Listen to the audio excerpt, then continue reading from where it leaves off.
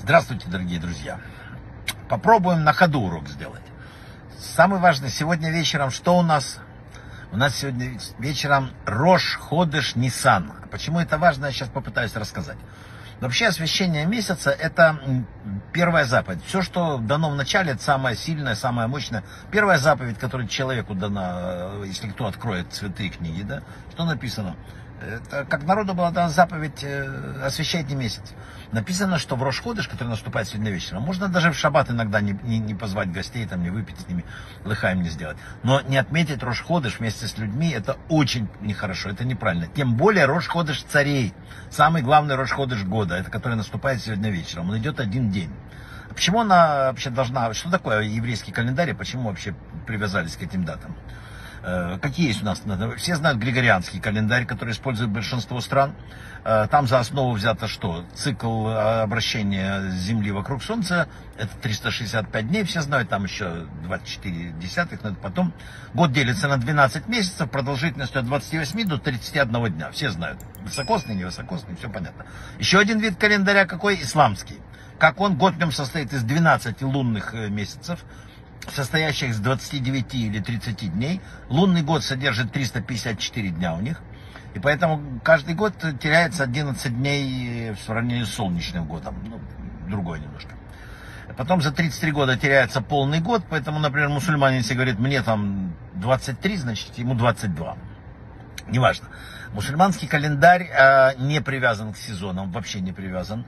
И начало года должен приходиться на летние месяцы, а потом на зимние и так далее. И так со всеми праздниками.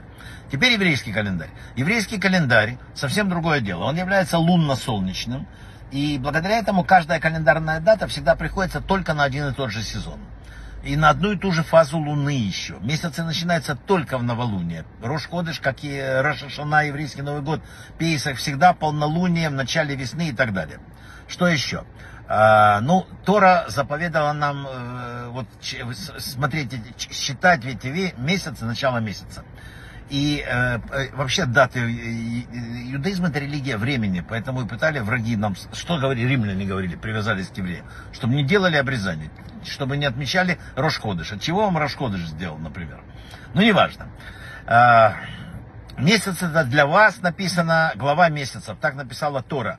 Первый он у вас месяц года. Все, что там спорить больше не будем. Из этой фразы мудрецы делают вывод, что первая Ниссана, Новый год, всех месяцев. Итак, мы с вами перед преддверием Нового года. Вот сегодня вечером Новый год. Мудрецы считают, что Ниссан, э, это, вы все знаете, что в Ниссане было спасение от египетского рабства.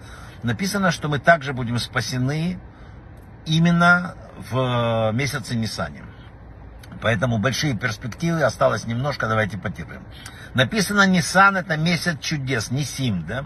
То, что э, название месяца Nissan есть две буквы Нун, это обычно считается, э, согласно нашим мудрецам, что этот месяц Ниссей Нисим, то есть чудо чудес может произойти в нем. И о грядущем спасении сказано, как в день исхода из Египта, явлю я вам, то есть с точки зрения э, хасидизма, э, это безусловно обязательно будет что-то в Ниссане. Первые, есть такая мистика, простите, плохое слово применил, Кабала говорит, что первые 12 месяцев, э, месяц, э, первые 12 дней месяца Нисан, это в концентрированной форме, показывают нам все 12 месяцев года. Если мы проследим с вами, как проживем первый день, второй, третий, а так люди записывают 12 дней, мы будем знать, как ну, в такой зашифрованность нашей судьбы, э, записанной уже наперед вот для этого месяца. Вы знаете, вот секрет иудаизма в том, что это не рассказ о каких-то давних исчезнувших там временах.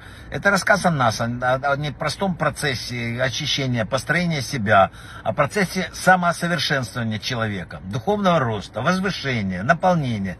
Это рассказ о наших путях, сомнениях. Все это описывается на виде Якова, фараона и так далее. Мы, это мы с вами, мы с вами убегаем от фараона. Это он нас угнетает и не дает нам уйти. Это он э, не дает нам освободиться от его э, пут. Кстати, под фараоном в иудаизме зашифровано понятие «злое начало в нас». Поэтому тут все в порядке. Именно так мы проходим путь по месяцам методом проб, ошибок. И начало Ниссана в Торе это э, как бы начало подготовки. Если вы знаете, кто, именно Мешкан, место пребывания ковчега, это прямое место связи нашего мира с первоисточником, с Творцом, заработало в этот день. Нет сейчас, сейчас скинии завета, нет храма, но, но энергия-то осталась, это энергия подключения. Нам снова дается возможность совершить, ну, кардинальное изменение. Головокружительный прыжок к освобождению, вот прямо начиная работать над собой с этого дня. Рожь ходишь вам хороший, и всего вообще самого лучшего. Брахава от слаха.